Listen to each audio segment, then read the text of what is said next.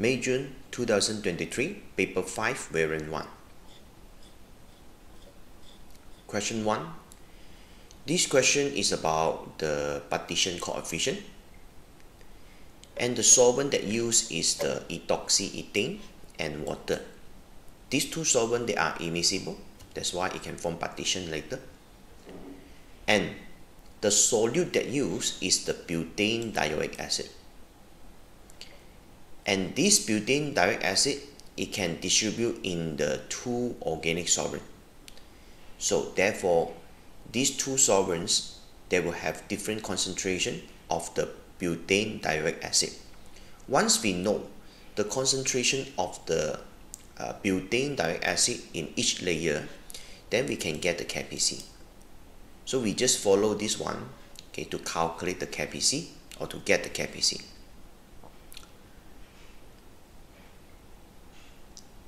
Okay, the density of this ethoxyethane is given 0.71. Water is 1 gram per cm cube, which means when we do the separation, the lower layer must be water because water uh, is has a higher density. So therefore, the lower layer it must be the water, right? Ethoxy uh, ethane is always the top layer. Okay, so the student used the following method to find the partition coefficient. Okay, a diagram given in figure 1.1. Right, so uh, it's involved uh, quite a number of steps. Okay, this is a figures uh, for the separation.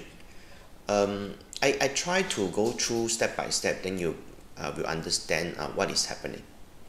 Okay, for the step 1, 30 cm cube of the water uh, added to this uh, separating funnel so this is the separating funnel. Initially add water inside. And after that, add the 2.81 gram of butane dioic acid into the separating funnel. Okay, and try to shake it and dissolve the butane dioic acid in water first. Okay, after that, we try to add the organic solvent into the um, the aqueous solution. Okay so after that we shake again. Uh, so this one is the okay step 4 remove the stopper and add 30 cm cube of ethoxyethane to the same funnel. After that uh, shake the separating funnel again. And For the step 6, place the separating funnel into the clamp. Allow the liquid to settle. So you can see two layers. So means this one take times. Let them to settle. And after that, remove the stopper and open the separating funnel. And allow the lower layer to run into the beaker, which label A. And run the upper layer into beaker B. So which look like this. So lower layer, which is the aqueous layer, okay, run into the beaker A, and the upper layer run into beaker B, then do for use use it for titration. Okay, step 8 and step 9 is a titration. Okay, step 8, transfer 10 cm cube of aqueous layer into the conical flask. Titrate with 0.5 mole per dm cube sodium hydroxide. You uh, the thymolphthalein as indicator. Uh, so this one is for the aqueous layer. Okay, once uh, we get the uh, solution, uh, the aqueous solution in beaker A, we just take 10 cm cube from this beaker. Uh, initially, it's just 30, uh, the DCM cube. Okay, please remember, only the DCM cube of distilled water. So this one is roughly the DCM cube but we just take 10 cm cube for titration. And this uh, solution means uh, now inside this uh, solution is going to have the acid. And the acid now titrate with sodium hydroxide. Okay and the concentration of sodium hydroxide is 0.5 mole per dm cube so we will get certain volume of this uh, sodium hydroxide. We can get the mole of sodium hydroxide Okay, after that, for the step 9, 10 cm cube from the ethoxyethane layer means the upper layer here. We take 10 cm cube. After that, we need to add 10 cm cube of H2O to this um, the organic layer, organic solvent. After that, we try to titrate it using the sodium hydroxide. So it's 0.1 mole per dm cube concentration. Use the same indicators. Uh, this is what happened uh, for this uh, uh the extraction and titration. Right. Okay, for part A1, state whether beaker A in the step 7 contains the aqueous layer or the ethoxyethane. Uh, this one I told you just now. The lower layer is always the, the aqueous layer. So means in beaker A, it must be the aqueous layer. So why? Because of the density. So because water has a greater density than the ethoxyethane, so okay, it will be the uh, uh lower layer. Okay, part 2. Identify the piece of apparatus that should be used in step 8 to transfer 10 cm cube of aqueous layer for the titration. So we take 10 cm cube from the beaker A. So we better use 10 cm cube volumetric pipette. So this is, this is the apparatus that we always use in the lab.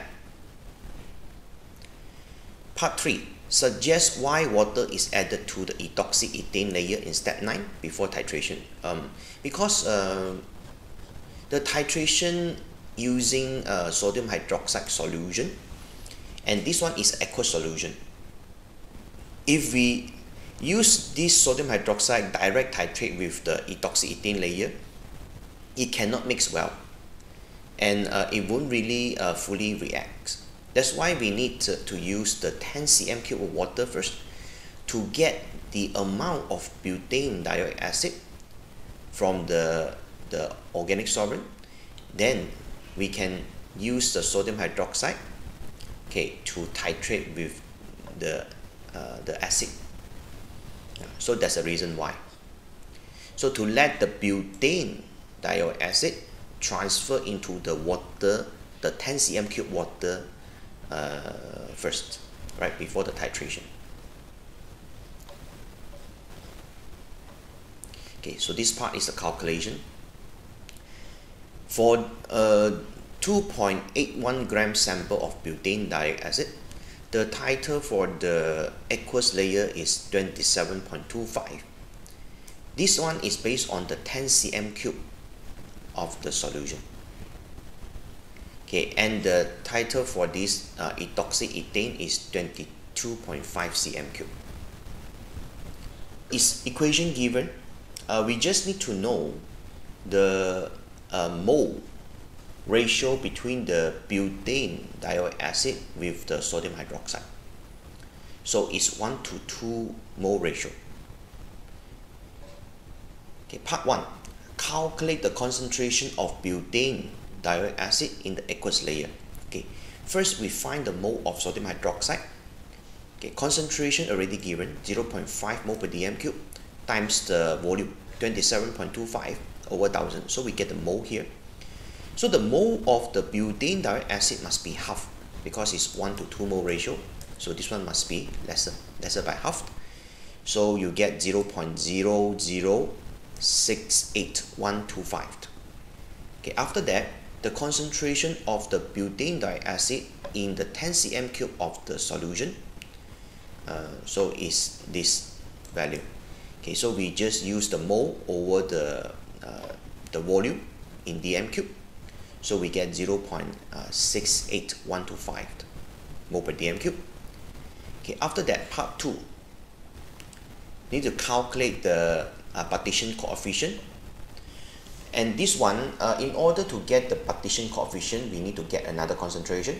We need to get the concentration of the solute in the ethoxyethane. Uh, we use the same calculation. So MV over 1000, we get the mole of the, the uh, sodium hydroxide. okay then divide by 2 we get the mole of the butane dioic acid. Okay over 10 cm cube of the solution the ethoxyethane solution. Okay so you get 0 0.1125 mole per dm cube.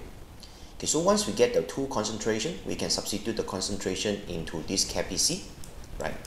Okay after that we get 0 0.165 okay so from here we know that because the KPC is uh, lesser than 1 we know that the uh, butane acid is actually dissolves better in water because the concentration of this acid is greater in the water. Okay we, we can refer to the KPC lesser than 1 means uh, it has higher concentration is at, in the water layer Part 3. Explain why the student is only able to repeat the titration in step 8 once. Step 8 is the titration of the aqueous layer. Uh, I told you already because the total volume that used is just the DCM cube. Uh, you have to understand uh, for this one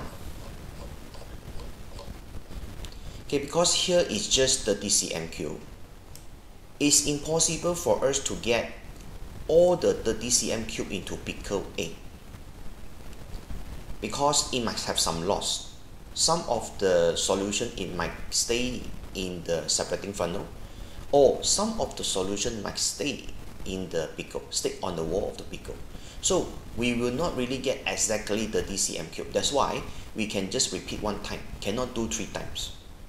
Means cannot repeat two times. Okay, that's the reason why.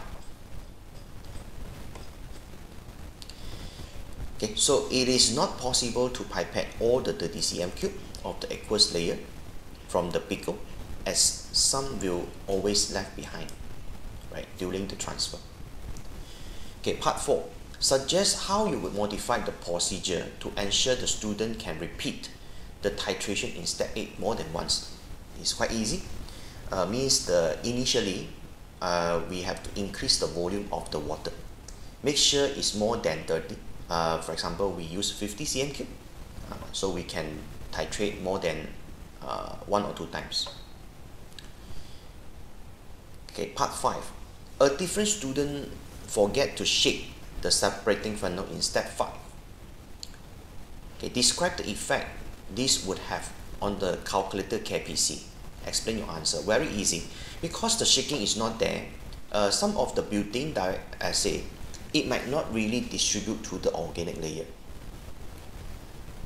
So therefore, okay, the concentration of the butane dioic acid in the uh, this ethane is actually lower than uh, what we get just now from the titration. So when this one is lower, means the KPC is going to be smaller, right? So uh, will be smaller uh, because equilibrium uh, has not been uh, attained and more butane acid remains in the aqueous layer. Okay, that's all. Thank you.